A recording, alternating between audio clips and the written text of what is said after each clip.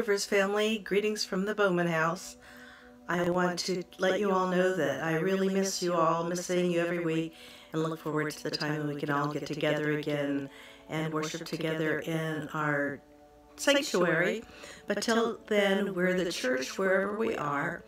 Um, I want to share a verse that has meant a lot to me throughout the years. I tend to be somebody who's always busy and always going. But when I remind myself Psalms 46:10 it says be still and know that I am God. I will be exalted among the nations. I will be exalted in the earth. Realizing that I there's something that I can't do I can't do anything about things some things but God's got it and he has us in his hands. He is faithful and worthy of our trust and worthy of his our praise have a wonderful, blessed day, and I'll see you as soon as I can. Good morning, everyone. Welcome today. We're delighted to have you with us. In a little bit, we're going to continue the teaching that we're in on the uh, overcoming life. We're going to talk about overcoming shame. In fact, we're going to do that over the next couple of weeks. Uh, but before that, we want to take a time and, and have a time of worship. Uh, each Wednesday, I've been sending an email to our church family, encourage you to listen to a song and because songs are there's something amazing about music and it helps our work, worship. Uh, music as you know is one of those few things that engages both sides of our brain and that's a good thing. It's something that brings strength to our spirit. We have the wonderful opportunity to have cody carnes and Kari Jobe uh, lead us in worship this morning. I am so grateful to them and for their service to the church of jesus christ. They've been making worship sets and been making them available uh, to uh, churches to use as part of their live stream so we're going to join them this morning for a couple of songs. I'll be back to talk to you about uh, overcoming shame, talk about that today, and uh, we're going to have a great, great time. God bless you, and let's worship Him right now. Hey friends, it's Cody and Kari, and we are so excited to be with you in your church today. And uh, I know we're in a crazy time right now where we're all having to isolate and uh, be in our homes. But what I think is amazing is that the church is alive and well. And Jesus is alive. And uh, nothing can stop us. Nothing can stop us. And thank God for technology that we can come together and worship together uh, in our homes, even, which I think is a beautiful thing that we're meeting with God in our homes all around the world. And so we're just excited to be a part and worship with you today. And, um, you know, there's been so many scriptures that we've really been clinging to in this time. And, and one specifically for me is Romans 8, just talking about nothing can separate us from the love of God. And in a time like this, I'm so thankful that you can take so many things away from us, but you can't take away the presence of God, the love of God that fills our homes, that fills our hearts, that that leads us, that guides us. And so Romans 8 says this Can anything ever separate us from Christ's love? Does it mean he no longer loves us if we have trouble or calamity or are persecuted or hungry or destitute or in danger or threatened with death? No. Despite all these things, overwhelming victory is ours through Christ who loved us.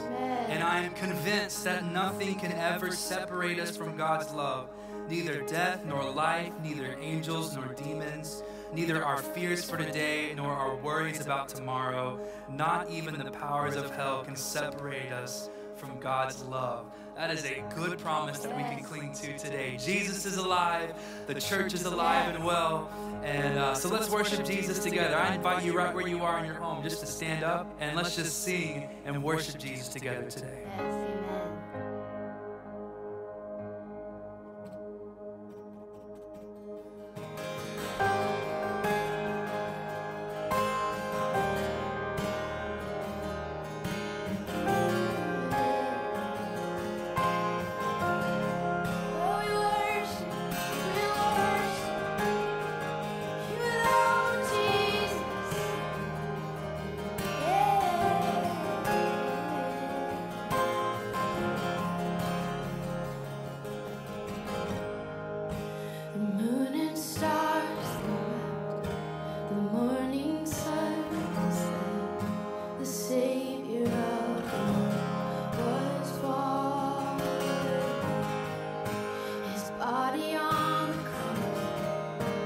blood.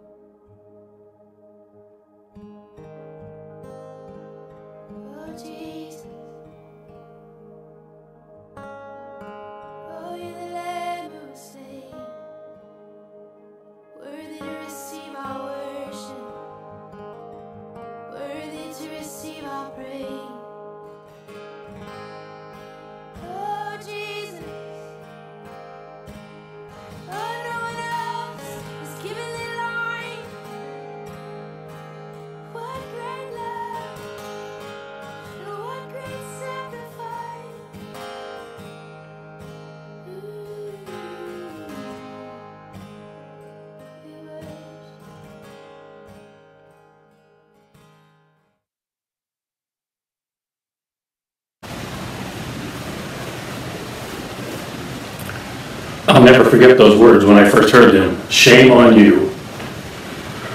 The sense, the feelings, the emotions, the failure, the rejection, the disapproval, all of those emotions came when I heard those words, shame on you.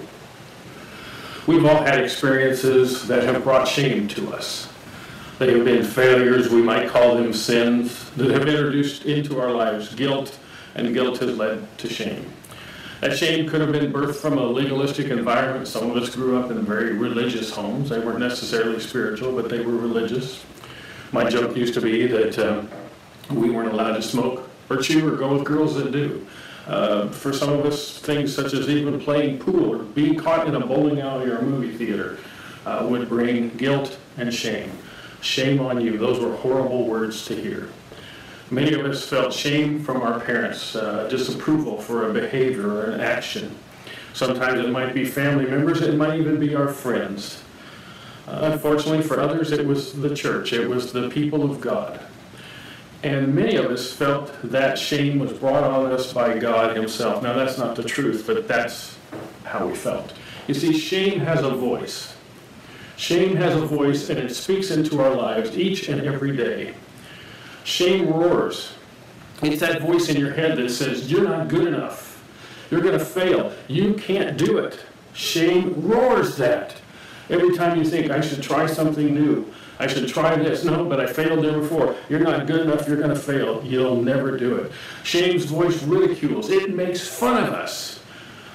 Even when we are able to ignore the voice and go on, shame tries again and again and says, Who do you think you are to try that? Who do you think that you are to make that attempt? Because after all, you're a failure. You're a nobody. And the voice screams loud, Shame on you. They're going to laugh at you. So that voice of shame roars and ridicules, and shame restricts us. Shame is never helpful or productive. Shame is a source of destruction, of hurtful behavior, and it never brings about a solution or cure. It's the monster that keeps us from doing the things we want to do. Shame on you. Horrible, horrible words to hear because they speak into your spirit. Well, where does shame come from? Well, failure leads to shame. It's failure. It's failure to measure up to a standard. It's, it's a failure to meet someone's expectations. It's a failure to measure up to what you believe God wants from you. Uh, all those things, those failures lead to shame. There's a relationship in the scriptures between sin and shame. In fact, the word shame appears 134 times in the Bible. In Jeremiah chapter 3, verse 25, it says, let us now lie down in shame and cover ourselves with dishonor, for we and our ancestors have sinned against the Lord our God. From our childhood to this day, we have never obeyed him. Do you hear the connection in that verse? Let us lie down in shame. Why are we in shame? Because we have sinned. In Daniel chapter 9, verse 8, it says, O Lord, we and our kings, princes, and ancestors are covered with shame. Then he says, why they're covered with shame? Because we have sinned against you. See, shame comes from a failure to measure up to a standard. It could be a God standard, it could be a man made standard, it could be a religious standard, but all of those things lead to shame. Failure leads to shame. Guilt and shame are byproducts of failure or of sin. Guilt and shame are the two things that come out of sin. Guilt is that feeling of responsibility, of uh, ownership, or, or remorse for action. So guilt can be adaptive and it can be helpful. You feel guilty about something, you think, man, I never want to do that again, and so we don't. And, and that can be a good thing. Now, guilt can paralyze. I'm not saying all guilt can be that way, but understand that when guilt leads to ownership or responsibility or remorse for actions, that is a good thing. Shame, however, is different. Shame is that feeling that we're innerly flawed, that we haven't measured up. You see, shame st- stems from our consciousness of something that was dishonorable or improper or something that might, we might say is ridiculous that's done by ourselves or others. And shame leads to the belief that we're flawed and we're unworthy of love, and that's the key. And we're unworthy of belonging. Something we've experienced, done, or failed uh, to do makes us feel unworthy of any kind of connection. Shame's voice speaks, there's something wrong with me. And as I said at the beginning of this teaching, some of those things came from choices that we made. It could be decisions we made wrong in uh, relationships. It could be um, a sexual encounter that shouldn't have happened. It could be knowing we should do something and we didn't do it, knowing that there were expectations and we didn't meet them. It could be all of those kinds of things. Uh, shame says, it doesn't speak to the action, it speaks to who you are, and it says there's something wrong. Now, there's differences between guilt and shame. Uh, guilt says, I see what I've done, I see what I've done. But shame looks at ourselves as failures because of what we've done. So guilt is, I did it wrong. Shame says, man, I, there's something wrong with me. There's a difference. One's the action, one's who I am. Guilt is feeling bad about what we do, and shame is feeling bad about who we are. Shame is a sense of failure um, someone else's eye. Well, guilt is just an awareness of the failure. You see the difference? One's about our character. Guilt is about disobedience to the word, but shame is how we perceive ourselves or how we see others. You see, shame is that feeling of being inwardly flawed, of not measuring up. Shame says, there's something wrong with me. Where did shame come from? What is the origin of shame? Where did it, where did it begin? You see, because God created us shame free. In Genesis chapter 2, verse 25, it says, Now the man and his wife were both naked, but they felt no shame. Shame comes in. Some people think it's because of this verse, it's sexual, but it has to do with perhaps our body is imperfect. We're ashamed of how we, we look or, or some of our attributes, our features, but God created us shame free. We were made in His image, after His likeness. We were a perfect creation. And shame was not something that He put in us. But here's one thing I can tell you as we continue to read on God cannot function in an atmosphere of shame. If you have your Bibles, grab them right now and turn to Genesis chapter 3, verses 8 through 13. And it says this When the cool evening breezes were blowing, the man and his wife heard the Lord God walking about in the garden. Now let's understand, up to now, this has been a daily routine. They were put in this garden to tend it, to care for it, to protect it. That's why they were there. And every evening, they could meet with God. It was an after dinner walk. They would walk with God. And if they had questions of things that they encountered throughout the day, they had the resource of all the universe, the resource of all knowledge, of all wisdom, of all understanding. He was there. Had they just waited one day and said, you know, this morning a serpent came up and tried to get us to eat that. And, and, and they said, Who is that serpent? He said, That's the devil. And, and God could have explained it to them, but they never had that opportunity. And says, The Lord, it said, uh, so they hid from the Lord God among the trees, verse 8.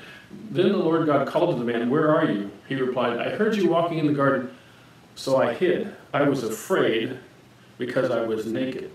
Now remember, it wasn't that many verses ago they were naked and they felt no shame. And now they're naked and they feel shame, and look what it causes them to do. They, they hid. And then God asked this question that He already knows the answer to. And by the way, when God asks us a question, it's never for us to. Uh, uh, for him to get an answer because he already knows it. It's for us to get the answer. And he says, Who told you that you were naked? Have you eaten from the tree whose fruit I commanded you not to eat? And the man replied, It was the woman you gave me who gave me the fruit, and I ate it. Then the Lord God asked the woman, What have you done? And she said, The serpent deceived me. That's why I ate it. You see, so here we are. We have some consequences of sin and shame. The first symptom of sin is shame. It says she took the fruit and she ate it, and then she gave it to her husband who was with her. And at that moment, their eyes were open, it says in verse 7, and they felt shame at their nakedness. Verse 25 of the previous chapter, naked, no shame. Seven verses into the next chapter, shame over their nakedness. Why? Because sin, the first symptom of sin is always shame. The second symptom is that you hide from God and each other. It says in verse uh, 7b, they sewed fig leaves together to cover themselves. And when the cool evening breezes were blowing, the man and his wife heard the Lord God walking in the garden, so they hid from the Lord God among the trees. You see, their sin led to guilt, and their guilt led to shame. And here's the thing that's important for us to recognize shame stops us from repenting. If they'd have come right out and they'd have been, uh, would have owned their responsibility and said, Lord, we disobeyed what you've done. I am absolutely certain that the God of forgiveness that we see in the New Testament would have also been the God that we see right here in Genesis chapter 3. The third symptom we see, or the consequence of sin and shame, is blame casting. You'll see what happens immediately. God says to the man, It was the woman you gave me. The woman says, The serpent you created. So that's what happens. We begin to blame. Whenever there's shame, rather than owning what we've done, we cast blame on others. So let's talk briefly about the impacts of shame. Number one, or A, shame sets unrealistic expectations. See, here's what happens. This is what it makes us think that God expects certain things of me to be acceptable. Maybe, maybe people have those same expectations. Now I'm stuck. I can't measure up. I can't do what I need to do. So what does it do? We don't try. When we cannot bridge the gap between who we are and who we think we need to be, that gap causes us to have shame. You see, secondly, shame changes the way we see and think about ourselves. Shame lowers our self esteem. It results in insecurity and pride. And here's the message of shame. If you get nothing else from today, get this. Shame says you're defective. That's what the serpent whispered to Adam and Eve in the garden after they sinned. He came in, they didn't even know who he was. The hurt whisperer came in and whispered into them, You're defective, there's something wrong with you. And so shame changes the way we think and the way we think about ourselves and the way we see ourselves. It can lead to paranoia, perfectionism. I was guilty of that. And it can also lead us to be a doormat for others because we don't feel that we have the right to speak up about uh, how we feel or who we are. Shame changes the way we see ourselves and think about ourselves because it ties us to our past, but it also sabotages our future. That's why God never functions in an atmosphere of shame. Shame extinguishes hope. The next thing we recognize is shame changes the way we think about and we relate to God. You see, Adam and Eve were walking intimately in the garden each and every day with the Father. They had him there. The encyclopedia of everything was there. But after shame, look what happened. They were afraid of God and they hid from him. And last, shame changes our interactions with others. Adam and Eve were created as helpmates. They had a perfect intimacy, they had a transparent relationship, and they were naked. What more could you want? But after shame, look what happened. Not only did they hide themselves from God, they covered themselves from each other, and they also assigned blame. So shame impacts everything that we do and everything that we are. It impacts how we see ourselves, how we relate to God, and how we interact with others. In Ezekiel chapter 16, it says, Then you will remember the shame, all the evil you have done. I will make your sisters, Samaria and Sodom, to be your daughters, even though they're not part of the covenant. I will reaffirm my covenant with you, and you will know that I am the Lord. You will remember your sins and cover your mouth in silent shame when I forgive you of all that you have done. Shame started in Genesis 3. It wasn't put in us by God, it was whispered into our spirit by Satan. And God promises in Ezekiel, there's going to come a day that I'm going to reaffirm my covenant with you. And even though you'll still have sins, and even though you'll have shame, I am going to forgive you of all that you have done. So, very briefly, let's talk about how God fulfilled that promise. You see, Jesus came to earth to bear our sin and to overcome shame. It says in Hebrews chapter 13, 11 through 15, it says, Under the old system, the high priest brought the blood of animals into the holy place as a sacrifice for sin, and the bodies were burned outside the camp. So Jesus suffered and died outside the city gates to make his people holy by means of his own blood. So let us go out to him outside the camp and bear the disgrace or the shame he bore. For this world is not our permanent home. We are looking forward to a home yet to come. Therefore, let us offer through Jesus a continual sacrifice of praise to God, proclaiming our allegiance to his name. Here's the good news shame and sin had to be dealt with. Man couldn't do it, God made a way. In the Old Testament, it had to do with two goats. We'll talk about that next week. And in the New Testament, the perfect Lamb of God comes and fulfills the purpose of both of those Old Testament goats to deal with sin and to address our shame. So as we close this morning, I want to read the verse from Hebrews chapter 12. It says, Therefore, since we're surrounded by such a huge crowd of witnesses to our life of faith, let us strip off every weight that slows us down, especially the sin that so easily trips us up, and let us run with endurance the race that God has set before us. Here's how you do it. We do this by keeping our eyes on Jesus, the champion who initiates and perfects our faith. Because of the joy awaiting him, he endured the cross, despising or disregarding its shame, and now he is seated in the place of honor before God's throne. As we close this morning, I want to focus on that one word. It says he despised the shame. Now, when we think of despise, we think of anger or hatred, but, but uh, the word in the Greek is kataphreneo, and kata means away from, and phreneo means thinking. And so literally, it says, he chose to think nothing, even though when you think about it, he's dying on the cross, at the crossroads of the world, that every path that goes from the west to the east goes through Jerusalem. And even though he's taken outside the camp, even though he's been ridiculed, he's been beaten, he's, he's hanging naked in front of his family and friends and the whole world, and the adversary, the hurt whisperer, is speaking to him, shame on you, shame on you, shame on you. It says he thought nothing of that shame. And because of that, he became our high priest, overcoming shame and giving us victory. And for that we give thanks and praise. Amen and amen.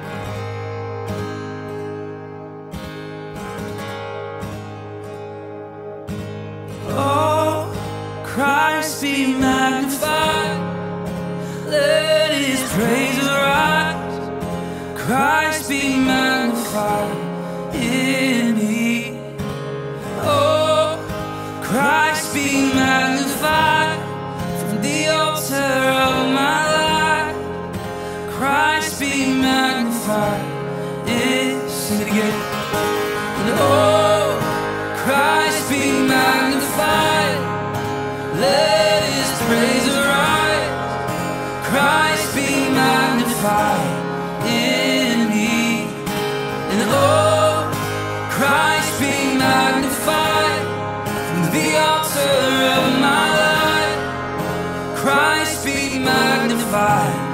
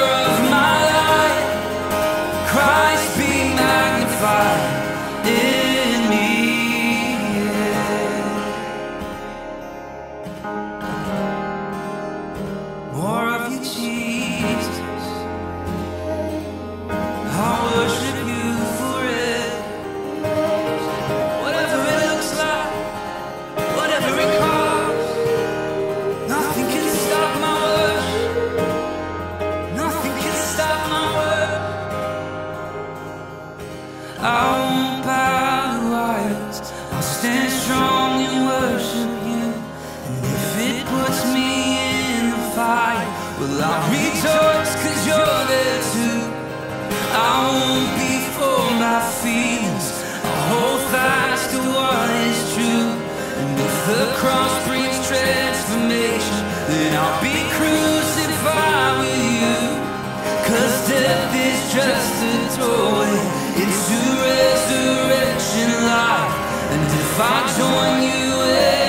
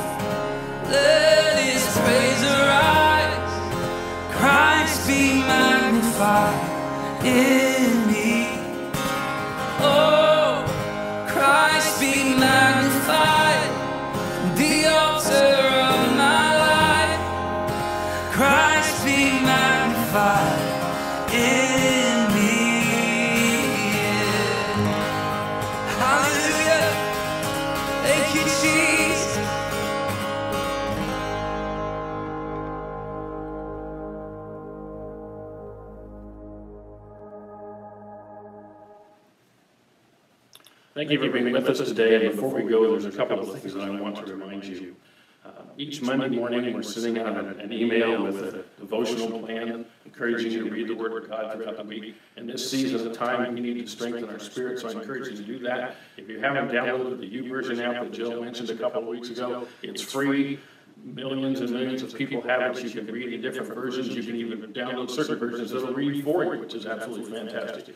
Uh, These plans that I'm recommending on Monday are ones that have been put together by people that I consider heroes of the faith, and they're addressing the topics that we're talking about, so I encourage you to do that. Also, I want you to know that on Wednesday, uh, we're sending a communication, just encouraging you to go to a link for a worship song.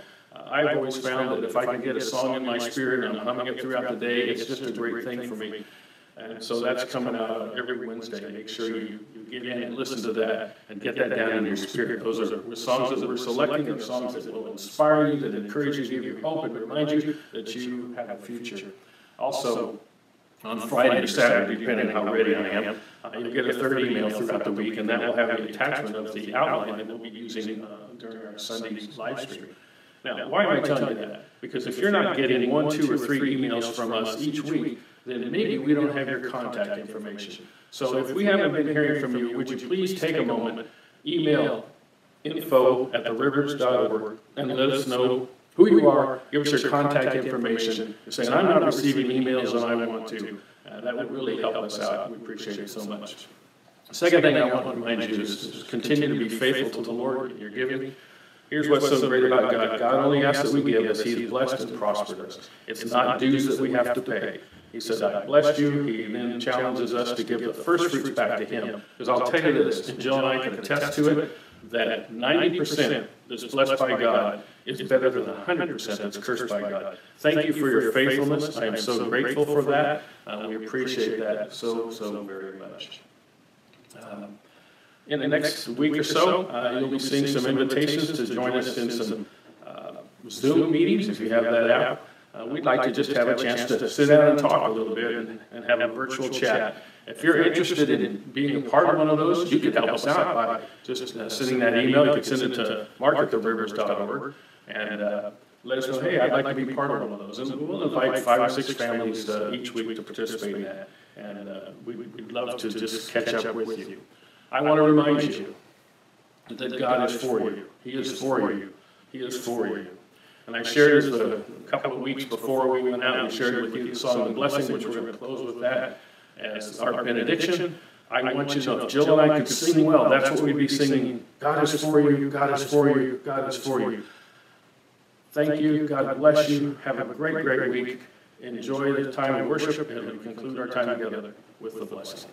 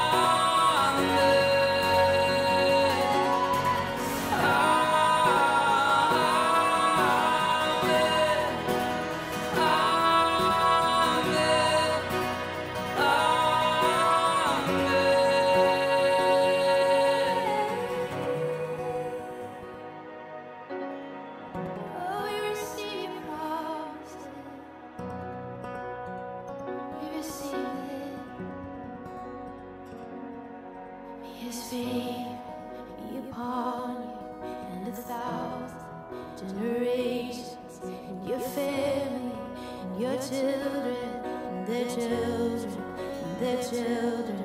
And his favor be upon you, and a thousand generations, and your family, and your children, and their children, and their children.